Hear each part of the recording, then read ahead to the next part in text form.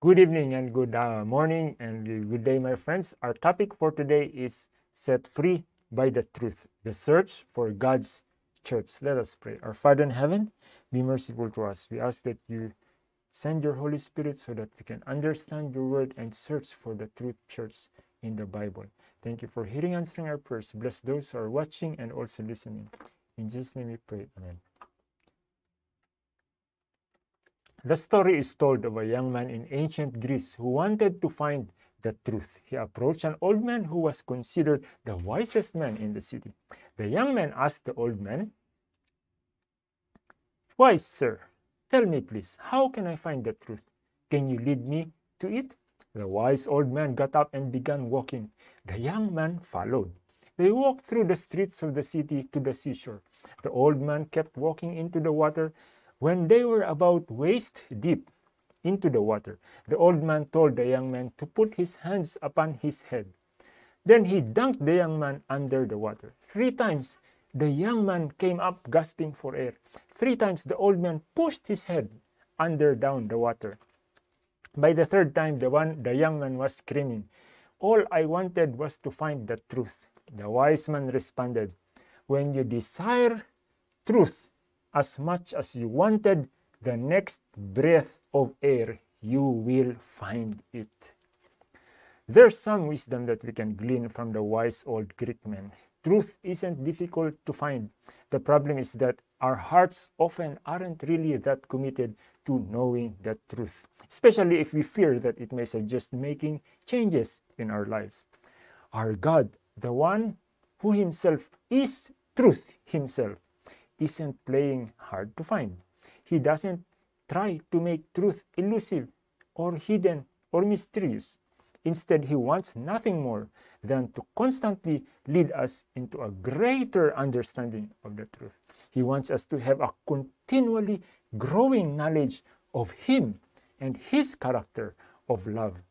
But that knowledge needs to be put into practice, something that can only happen if in our hearts we are fully, completely committed and surrendered to whatever truth will teach us. Jeremiah said it in this way in Jeremiah 29 13. And you will seek me and find me when you search me with all your heart. That's not saying we have to search really hard for a hard to find God. It's saying we need to search with a heart that is already, with a heart surrendered to Him. But some people are searching in all the wrong places. They seek to find, to fill the emptiness in their lives with fame, fortune, drugs, alcohol, possessions, and recreational activities, only to discover when they reach their goals that there is no lasting satisfaction Sooner or later, the question of the ancient prophet echoes from the past. In Isaiah 55 2, why do you spend your money on that which is not bread, and your wages for that what does not satisfy? Possessions will never satisfy. Jesus himself said, One's life does not consist in the abundance of the things he possesses. Luke 12 15. Material things don't, don't bring happiness. Truth satisfaction and contentment can only come from a growing relationship with our Creator God, who is the way, the truth, and the life. John 14 6. God intended that His church should be the vehicle that brings the knowledge of Him and His truth to the world. In fact, that is one of the characteristics of his church throughout every age. They are the ones entrusted with God's truth and the responsibility for sharing it. Paul wrote to his young co-worker Timothy and said in 1 Timothy 3:15, "I write so that you may know how you ought to conduct yourself in the house of God, which is the church of the living God, the pillar and ground of the truth. 1 Timothy 3:15. But where can we find the pillar and ground of the truth today? New churches are always springing up all around the world. Each claims to have a message that the world needs to hear. God never intended that this would be so confusing. In fact, Paul wrote that there is one body and one spirit, just as you were called to one hope of your calling. In Ephesians 4 4 to 6. One Lord, one faith, one baptism, one God and Father of all. That's not the way it seems today, with hundreds of denominations and all the disagreement about the truth. But it's how Jesus wants it to be one church. In fact, he prayed for his disciples in John 17 21 that they all may be one, as you, Father, and me, and in me, and I in you, that they also may be one in us, that the world may believe that you sent me. John 17 21. Jesus wanted the world to be able to recognize his followers by the unity and love. He did not want any divisions in the church. The Apostle Paul wrote that there should be no schism, division in the body in 1 Corinthians 12 25. But the, people, but the apostle also foretold the time when the apostasy would come into the church, and with it, divisions. We read in Acts 20 28 to 30, Therefore, take heed of yourselves to yourselves and to all the flock to shepherd the church of God. For I know this, that after my departure, savage wolves will come in among you, not sparing the flock. Also from among you yourselves, men will rise up, speaking perverse things to draw away the disciples after themselves. Acts 20, 28, 30. As we study church history, we discover that this is exactly what happened. False teachers arose, and some accepted their errors and abandoned their faith. Others became confused. There was a gradual falling away from the teachings of Jesus. But through it all, God has had a church that has remained faithful. So, what did that faithful church look like? And perhaps more importantly, what might it look like today? We do not have to study every religion and research every denomination. We only need to find the characteristics of God's church as given in His Word in the Bible. The God who loved us enough to die in our place must also want to make such important matters known to us. A prophet, the prophet Amos, declared in Amos 3:7, Surely the Lord does nothing unless he reveals his secret to his servants, the prophet. And so, to his prophets, we want to turn for answers. The book of Revelation was written especially for the last days and contains special insights into our topic for this topic. It details the apostasy and religious confusion that will exist near the end of time. Chapter 12 of Revelation gives a panoramic view of church history from the time of Christ to the end of the world. Revelation 12 1 and 2. Now a great sign appeared in heaven a woman clothed with the sun, with the moon under his, her feet, and on her head a garland of 12 stars. Then, being with child, she cried out in labor and in pain to give birth. This is a, quite a symbolism. A woman in white, clothed with the sun, standing on the moon, with a crown of 12 stars on her head, and with such, what does such symbol mean? In Bible prophecy, a pure woman represents God's people, His church, the prophet Jeremiah wrote, I have likened the daughter of Zion to a lovely and delicate woman. Jeremiah 6 2. And who is Zion?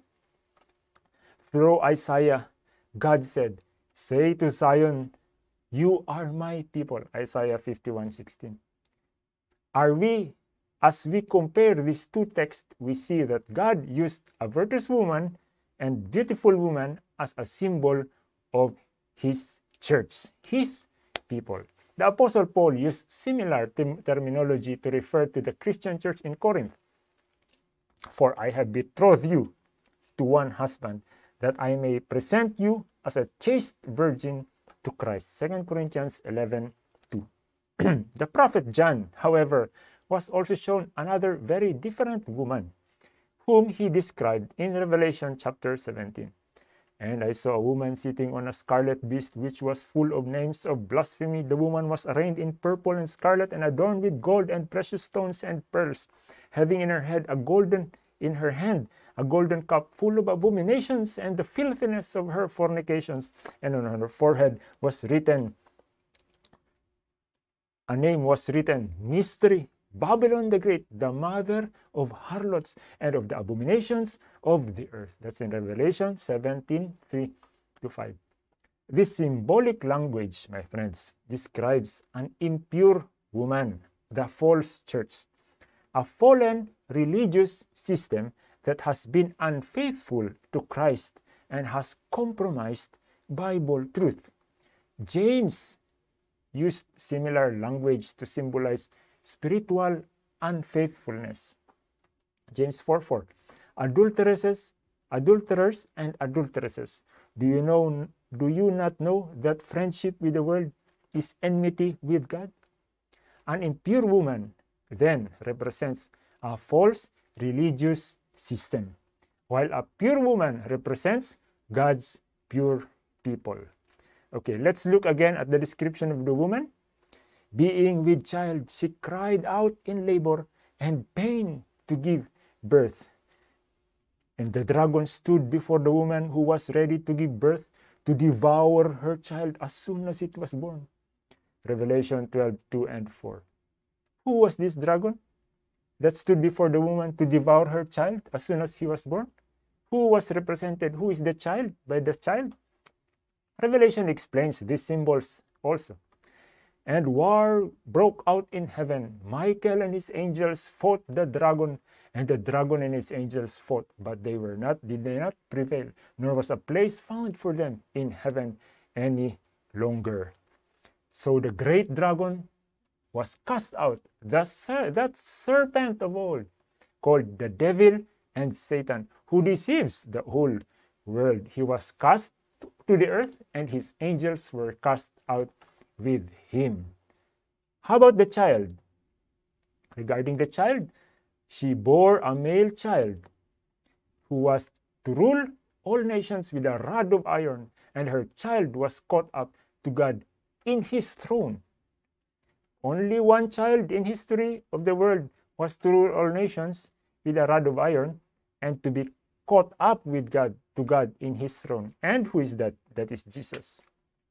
Speaking of the second coming of Jesus, John said, Now out of his mouth goes a sharp sword that will that with it he should strike the nations. And he himself will rule with them with a rod of iron. So that's Jesus who can rule the whole earth. Revelation 19 15. Paul tells how Jesus was caught up to God's throne when God said, Raise God, when God raised him from the dead and seated him at his right hand in the heavenly places. Ephesians 1:20. So we can find out in the Bible. Yes, Jesus was the male child.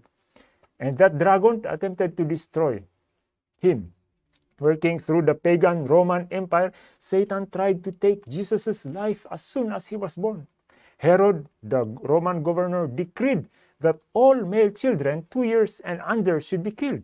But an angel warned Mary and Joseph to escape to Egypt with Jesus. Through his life, Jesus was constantly attacked by Satan through temptation and persecution. When Jesus was put to death on Calvary's cross, Satan thought he had won the battle, an empty tomb demonstrated the triumph of the Savior of the world. Christ arose and ascended to his Father's throne, just as Revelation describes. Failing in an attempt to destroy God's Son, Satan turned his wrath on the woman, Christ's church. Satan could no longer touch Jesus personally, so he viciously attacked Christ's followers. All but one of Jesus' disciples died a martyr's death. The Apostle Paul was beheaded in Rome. Christians were tortured and thrown into dungeons, many sealing their testimony with their lives. In the first generation of the Christian church, while the apostles were still alive, the church stood firmly for the truth despite the persecution it endured. But after the death of the disciples, with the passing of time, some Christians compromised their faith and false teachings came into the church. In the fourth century, Emperor Constantine tried to hold the Roman Empire together by uniting pagans and Christians into one great system of religion. As a result, Christianity became accepted and even more popular. The pagans who joined this new Christianity brought many of their beliefs and practices with them. As the church embraced these errors, it lost sight of its original mission. One historian wrote, the new Christians were as far as thinking and habits went the same were the same all pagans. Their surge into the churches did not wipe out their paganism. On the contrary, hordes of baptized pagans meant that paganism had diluted the moral energies of organized Christianity to the point of impotence. That's from Centuries of Christianity, a concise history, page 58. However, during this time, there were Christians scattered throughout the world who remained faithful to God's truths and protested that the changes that crept into the church they refused to compromise their position, and many were persecuted for their faith. Soon the Roman rulers issued edicts making it a crime punishable by death to reject the new pagan practices of the state church. Foreseeing all of this, John wrote, The dragon persecuted the woman who gave birth to the male child in Revelation 12 13. And what would happen to the woman? She fled into the wilderness where she was had a place prepared for God that they should be feed her from 1260 days. Revelation 12 6. Notice that this prophecy reveals how long God's people were to be persecuted 1260 days we have already discovered that each day in Bible prophecy stands for a year of literal time. Ezekiel wrote in 4 6, I have laid you a day for each year. So the oppression of God's faithful people, as predicted in Revelation, was to continue for 1260 years. History confirms this Bible prophecy. The Roman Emperor Justinian ordered the Roman general Belisarius to wipe out the Arian powers that opposed the church in Rome. The last of this was eradicated in AD 538, and Justinian declared the Bishop of Rome to be the head of the church and the true and effectual corrector of heretics. The reign of intolerance for so-called heretics had begun. History confirms this Bible prophecy. The Roman Emperor Justinian ordered. So this is what happened. They were persecuted. Yet God's true church will always triumph. Following the invention of the printing press, the Bible was translated into the languages of common people and circulated wild, wildly. God's truth would not be hidden forever. Courageous reformers boldly proclaimed the word of God. Some, like Huss and Jerome, were captured and burned at the stake. Others like Wycliffe, Tyndale, and Luther were hunted and persecuted. But with the discovery of America, new freedom and a new refuge were provided for the persecution of Christians in Europe. On the shores of a new nation was laid the foundation of a civil and religious liberty. The era of compromise and persecution predicted in Revelation 12 finally came to an end in 1798. It ended when Napoleon sent General Berthier to take the Pope captive exactly 1,260 years after the predicted period of persecution began in 538. After 1798, we should begin to see a pure faith again in the open. The church would no longer be hidden in the wilderness.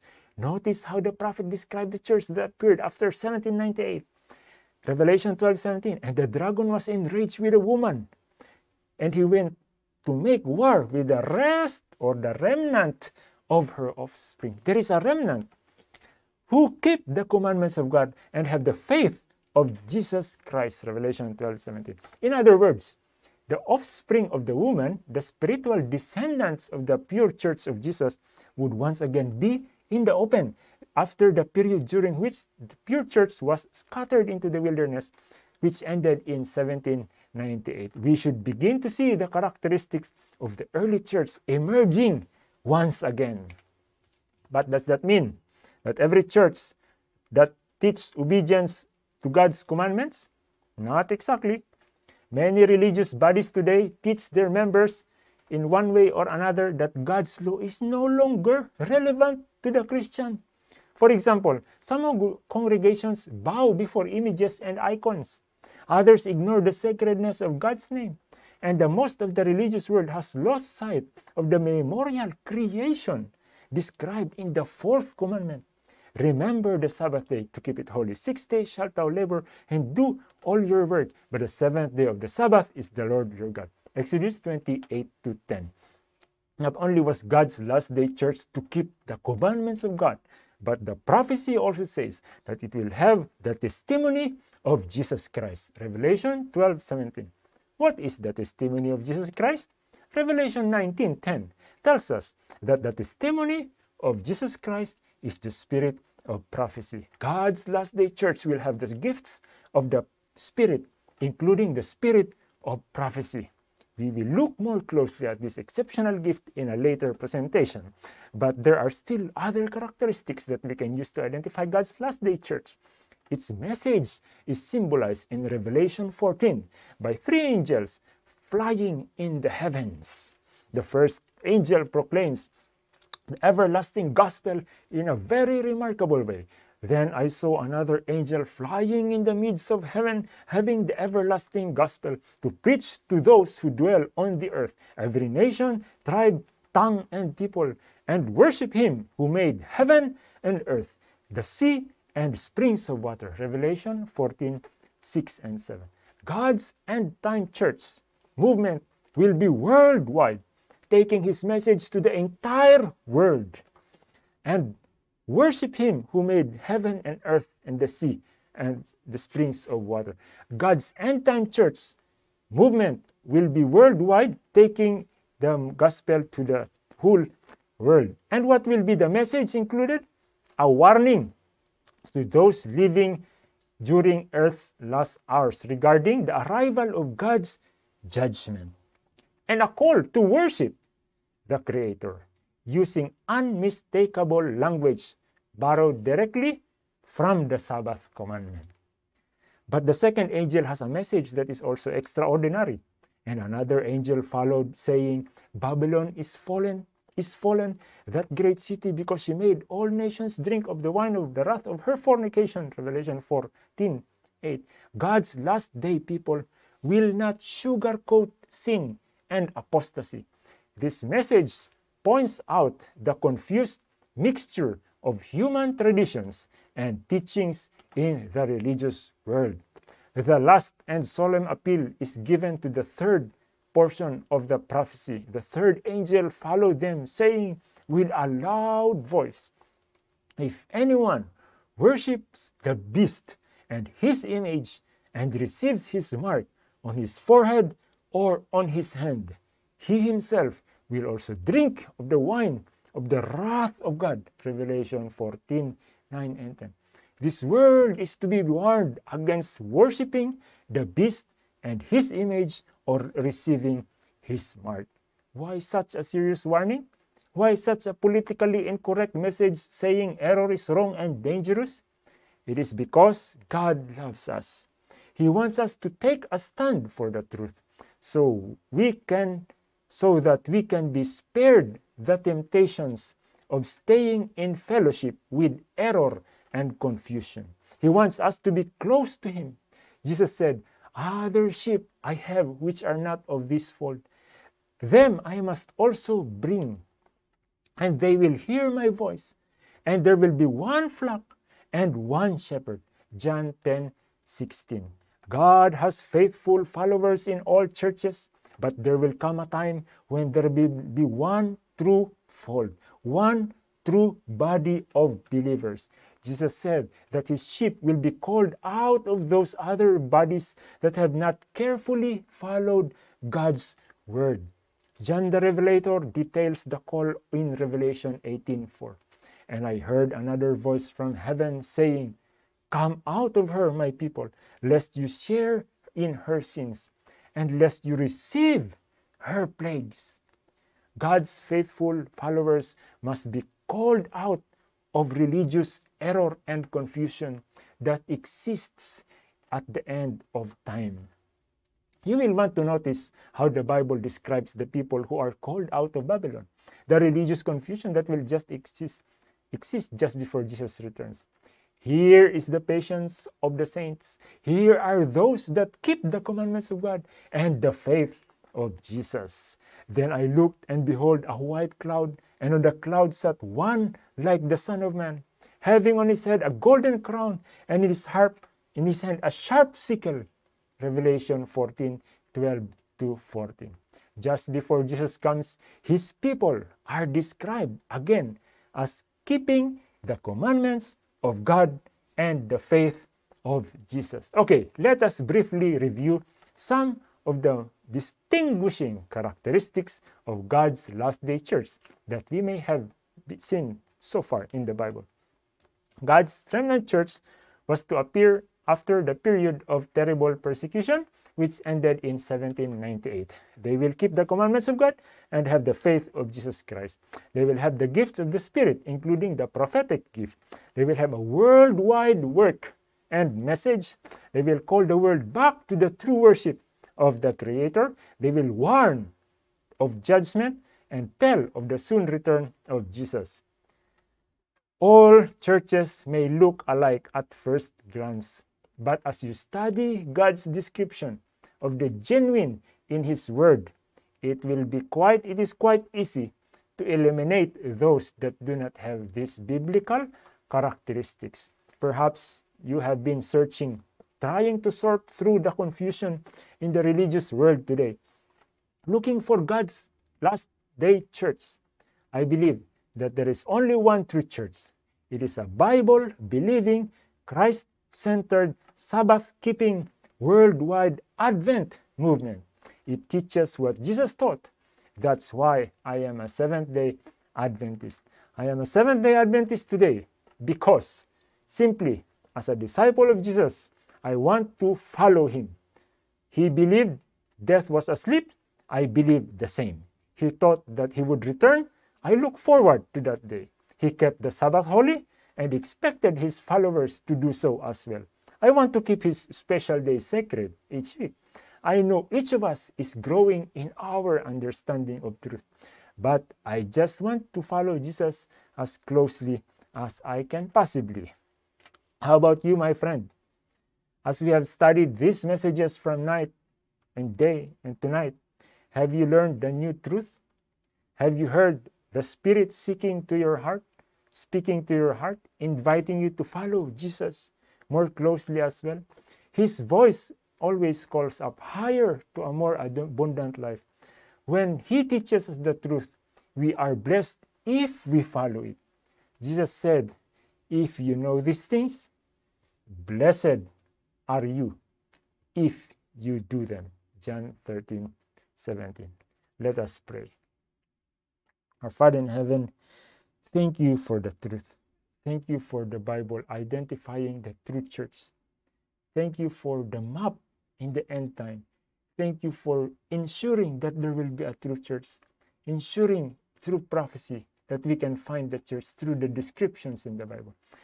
Our Father, help us to be faithful to your word as the Bible describes the true church. Help us not be lost, those of us are, who are still wondering as you have prophesied, please bring them, help us bring them to the fold.